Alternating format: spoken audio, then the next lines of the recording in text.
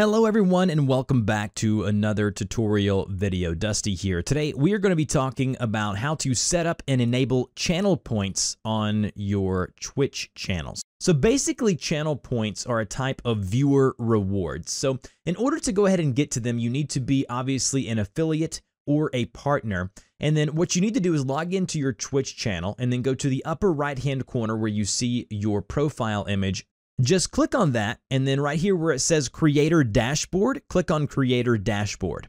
And then once you're under your Creator Dashboard, you want to go here over on the left-hand side where these list of tools are and go to Viewer Rewards. Hit that drop-down menu, and the first one is going to be Channel Points. Go ahead and click on Channel Points. Now, this is the Channel Points dashboard here. First and foremost, make sure that this here is checked. Make sure that you have enabled channel points. As you can see, I have a check mark by mine. If yours is disabled, make sure you check it and it's over to the right. Make sure that channel points is enabled. Next, we have customize points display. Now, this is where you get to name and decide what your channel points will look like. Now, for the purposes of this tutorial, I've named my channel points cookies. And then I, on my display here, I have, uh, you know, the, the appropriate sized images. Now, this can be a little tricky and a little annoying at times, but you have to make sure that these icons are exactly these sizes. So you need 28 by 28,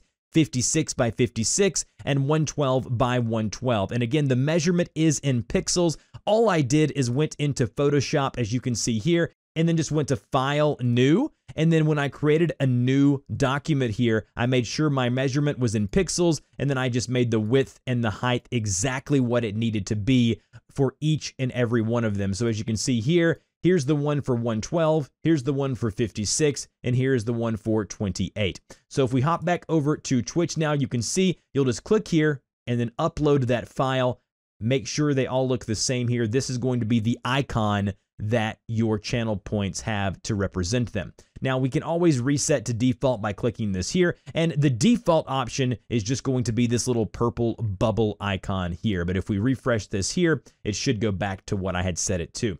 And then if you go here, you can see exactly what it's going to look like for your viewers. As you can see uh, at the bottom of your chat, uh, it's going to say cookies. It's going to show how many of these that they have. So if we go here to a popular streamer, CohhCarnage, you can see in the lower right hand corner that his channel points are called good vibes. I have 1400 good vibes. You can see if I click on that, uh, introducing channel points, get started, you can see I can redeem these for different things like choose an emote, modify a single emote.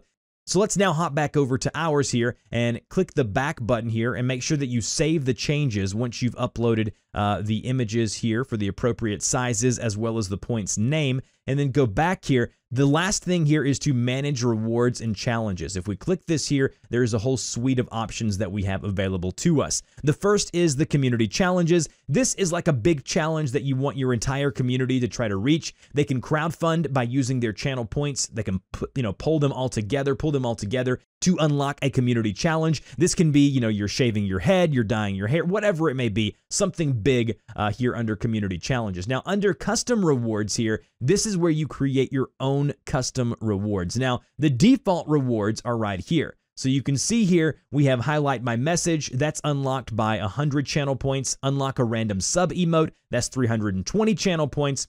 Uh, send a message in sub only mode, 350. And again, all of those cost and basically what they're called here. This can be changed by going to edit here. And then as you can see, uh, we can go here and change the background color of that. We can change the icon of that if we want to. Uh, but the most important thing here would be the cost. Now, Twitch has something that's called smart cost. It basically auto adjusts the reward cost for the size of your community. So as your community grows, these costs will increase if you have smart cost turned on. So as you can see here, I can turn that off and then I can set my own cost by going in here and setting my own cost. But if I go here and turn smart cost on, Twitch will go ahead and automatically set those costs for me dependent on how large my audience is. And if we go back here to default rewards, we can go to manage smart cost. And as you can see, we can go here and turn it off or on for each individual reward. So if we go here to visit the collection under custom rewards, you can see here that they have a whole bunch of custom rewards set up within Twitch that you don't have to do anything for. So uh, hero request, uh, drop it, make my make me drop my weapon. There's all kinds of different things like hydrate. You know, you can add that reward here, and then if we go back, you can see now that hydrate is going to be a reward on my channel. So now when I go live, as you can see back over here on the streamers page here, all of these will be in my chat here, and instead of you know good vibes as opposed to what CohhCarnage has, it would be cookies. You know, which would be my channel points or whatever you named and whatever image you gave to your channel points. Hopefully this was helpful. If it was, don't forget to like, share, and subscribe to the channel. Thanks for watching the video, and I'll see you guys in the next one.